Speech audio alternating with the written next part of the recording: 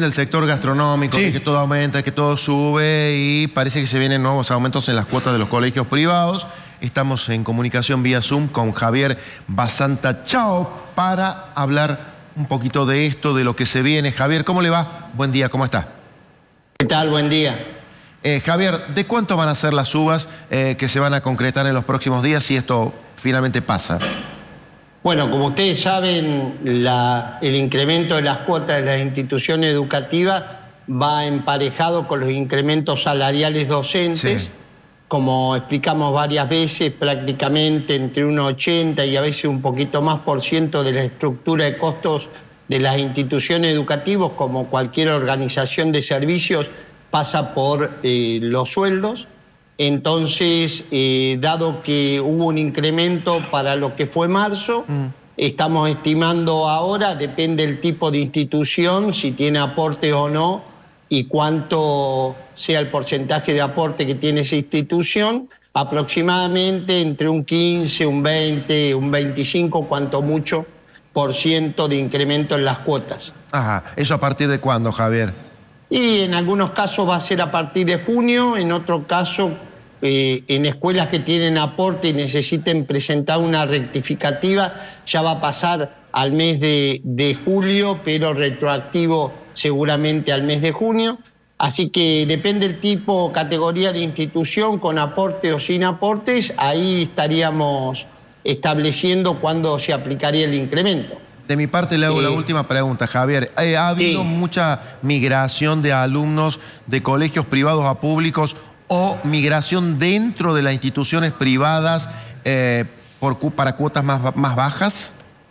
Bueno, nosotros a principios de año apareció un número que llegó hasta los medios nacionales que hablaba de un traspaso de alumnos de educación privada, educación estatal, Sí. eh, de alrededor de 15.000 alumnos. Y en realidad lo que nosotros decimos y seguimos sosteniendo y de acuerdo a los indicadores que tenemos es que ese número puede pasar de alumnos que pasan a las escuelas estatales, pero también hay muchos alumnos que regresan a las escuelas privadas, las familias que han tenido a sus hijos en escuelas privadas y por condiciones económicas, situaciones económicas financieras, han tenido que recurrir a la escuela estatal, inmediatamente cuando acomodan medianamente su situación, continúan en la escuela privada. Claro. Sí, lo que siempre decimos desde la época de la pandemia es la movilidad dentro de la misma gestión privada de escuelas con cuotas un poco más Claro. onerosas, lógicamente con servicios